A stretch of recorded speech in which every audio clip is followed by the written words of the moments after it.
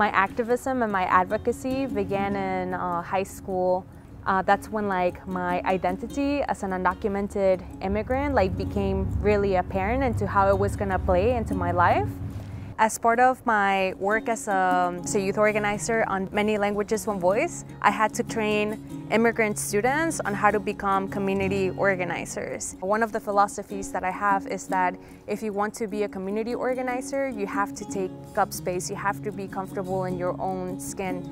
Me, along with other organizations, are working so that the climate movement can be more inclusive of natives, immigrants, women of color, young people specifically, and all of these communities are fighting to make up space in those decision-making tables.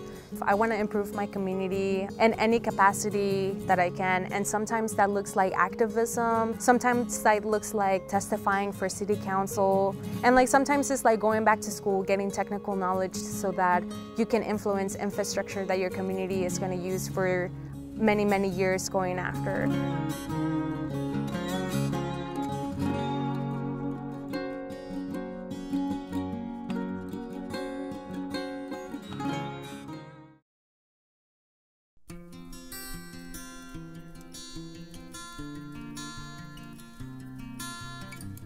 Me impulsa mucho el deseo de querer ser parte de la solución, no del problema cuando el Papa Francisco habla de la Laudato Si, que es una encíclica, un documento que habla del cuidado de nuestra casa común.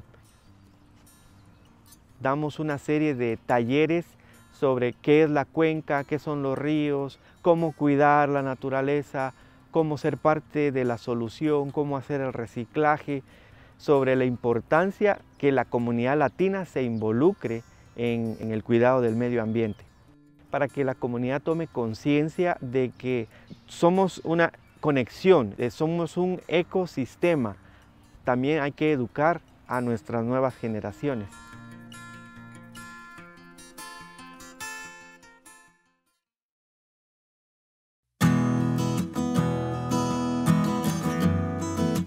I always have been a nature lover. You know, growing up, my family, we always went camping, we went uh, to the parks, we were always taken to enjoy the outdoor spaces.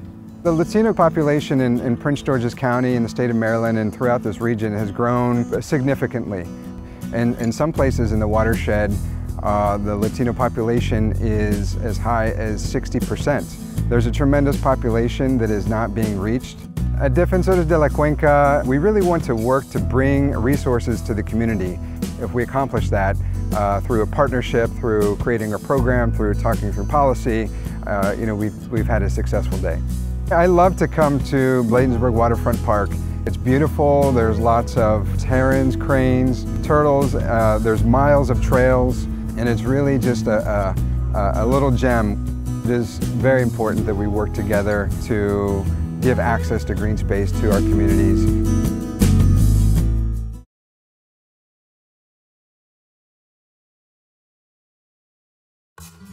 Okay, I'm gonna do this very, very quickly.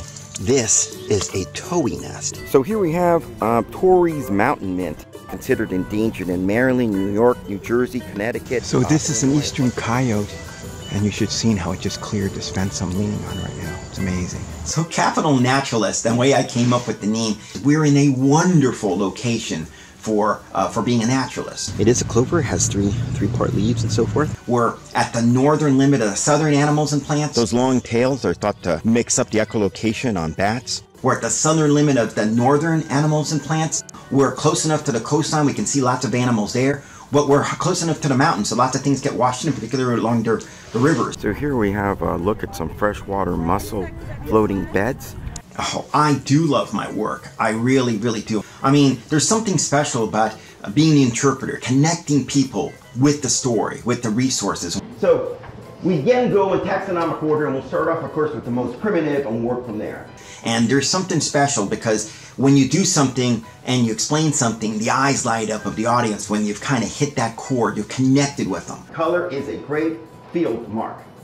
It should not be the only field mark you depend on. That's the beauty.